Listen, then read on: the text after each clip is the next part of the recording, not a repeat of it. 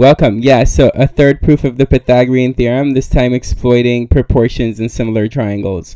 So, um, if you have a right triangle, which is the blue big right triangle that you see, then you can drop an altitude to the hypotenuse of that right triangle. And this is the altitude to the hypotenuse. And altitude to the hypotenuse in a right triangle forms three similar triangles. This triangle is similar to this triangle and they're both similar to the big uh, blue triangle that houses them. Yeah? Okay and then by uh, proportions of uh, similar triangles we know that this has to hold true. And from this notice that we can cross multiply in the first equation and write that a squared is equal to c times x and in the second equation we can write b squared is equal to c times y.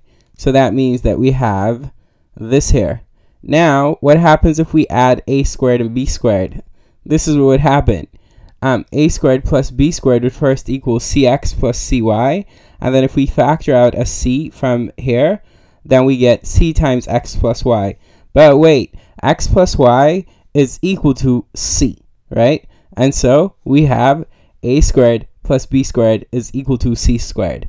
Yes, um, Perhaps I could have explained a little bit more on uh, this uh, proportion uh, that comes from similarity of the uh, three triangles that I mentioned, but uh, that's a different video. That's a famous, maybe not famous, but an important theorem in geometry called the theorem of the altitude to the hypotenuse.